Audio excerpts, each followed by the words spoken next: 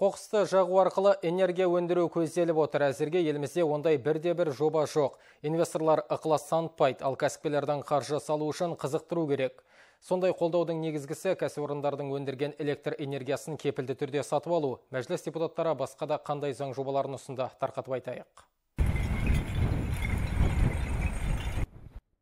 Елімізде қоқысты өңдеу көрсеткіші тым төмен 15%, ал көмілетін қалдық жыл сайын 5 миллион тоннаға жетеді. Алайда кәдеге жарата білгендер баламалы энергия өндіріп, қоқырсыған қоқыстан шылқып байып отыр. Көш басында ақш тұр. Жалпы әлемде 2000-нан аса қалдық жағу зауыты бар. Бізде керісінше айдаладағы полигон өртеніп, пайда келмесе де шығынға батырады.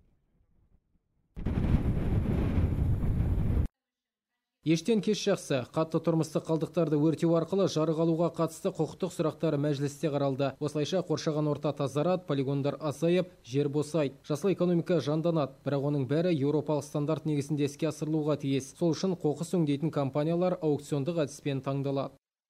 Егер бүгін жұмыс істейтін зауыттар қоқысты тек сұраптайтын және қайта өңдейтін болса, жаңадан іске қосылатын зауыттар өңдеуден қалған қалдықтарды өртейді соның арқасында энергия алынатын болады Сондай-ақ мәжіліс еліміздің мемлекеттік шекарасы туралы заң жобасында бірінші оқылымда мақұлдады. Онда ел аумағынан транзитпен өткен пойыз жолаушыларды түсірмесе, жүктерді тиемесе, яғни жолда тоқтамаса, онда шекаралық, кедендік және басқа да бақылау жүргізбеу керектігі ұсынылды. Сондай-ақ шекарада пилотсыз ұшу аппаратын қолдану мәселесі де көтерілді адам болмаса көлік бару қиындалған жерлерде ол таулы Э, асулар аңғарлар және тау жолдарын бақылауда э, пайдаланатын болады Бұдан бөлек шекарашыларға құқық бұзушылықтың жолын кесу кезінде тапқан олжаларын жергілікті билік органдарына тапсырту көзделген. Яғни оларға жануар, балық, өсімдік немесе браконьерлік құралдарды есепке алу, сақтау, одан әрі пайдалану құзыреті берілген. Қос заң жобасына да депутаттар бастамашы болды.